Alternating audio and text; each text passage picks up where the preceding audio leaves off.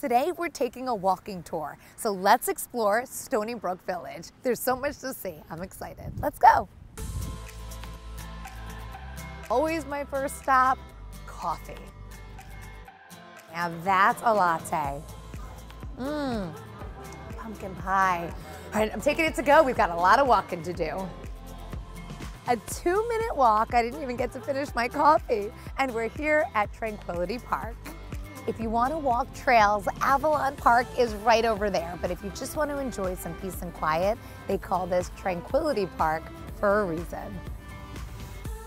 I just found my favorite spot. If you want to learn the history here, follow the Harbor Walk. It's a mile long and it's full of fascinating facts.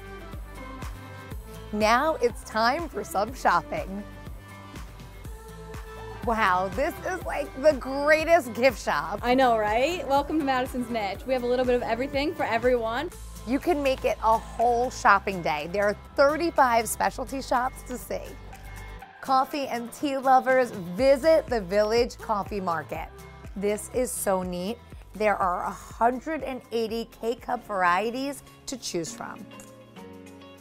Stop by the historic post office and look up because every hour on the hour, the eagle flaps his wings.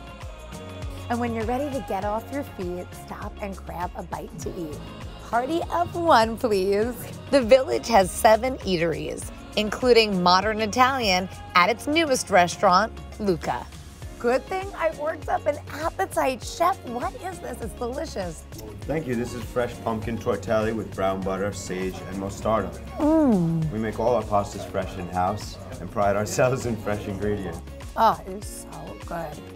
If you want to switch it up, you can rent a bike from the service station. I think walking is safer for me. Ah, now I'm getting the hang of it.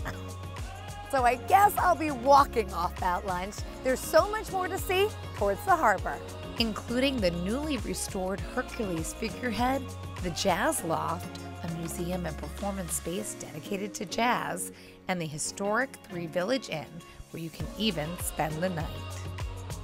And I can't leave without something sweet, and there is so much to choose from at Stony Brook Chocolate.